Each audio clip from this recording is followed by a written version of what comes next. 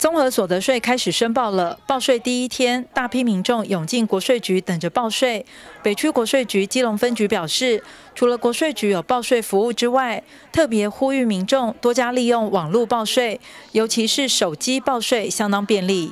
只要各位说拿起我们的手机哈，然后搜寻报税的字眼，然后进入我们那个手机版的报税画面哦。那这部分的话，我们有三个认证的方式哈。那有行动电话认证，以及利用查询码加户号的部分进来我们的手机申报系统。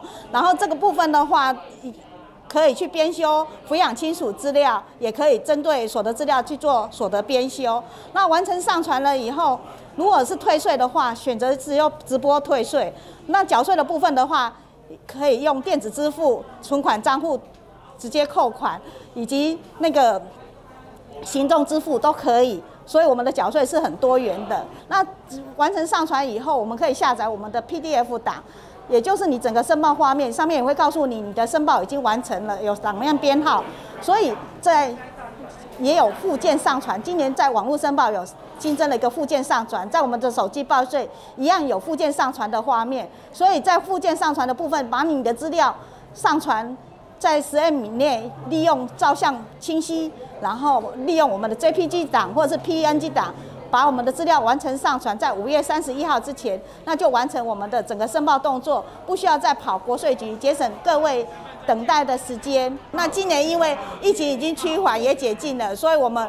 今年的结算申报期，提醒各位注意一下，是五月一号到五月三十一号。另外，透过网络、手机报税，还可以参加财政部的在家一报税好礼大放送抽奖活动，头奖奖金二十万元。财政部提出了一个在家一报税好礼大放送的活动，也就是说，在家里面自己做网络申报，或是利用税额税额试算去做线上登录缴税，或是线上登录回复的话，这部分我们。头奖至二十万的奖金哦，所以奖品丰富。那手机报税也另外有加码奖，还有意外退税也有另外加码奖。所以，所以希望大家可以多多使用。北区国税局基隆分局也强调，今年因为疫情趋缓，报税期间是五月一号到五月三十一号为止，提醒民众多加注意。记者黄日升、陈淑平基隆报道。